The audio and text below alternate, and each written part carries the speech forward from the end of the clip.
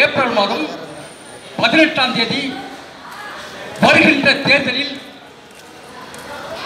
நூறு சதவீத வாக்குகள் பொதுமக்களாகிய நீங்கள் அளிக்க வேண்டும் என்பதை உறுதிப்படுத்துவதற்காக இந்த விழிப்புணர்வு கலை நிகழ்ச்சி இப்பொழுது நடைபெறப்படுகிறது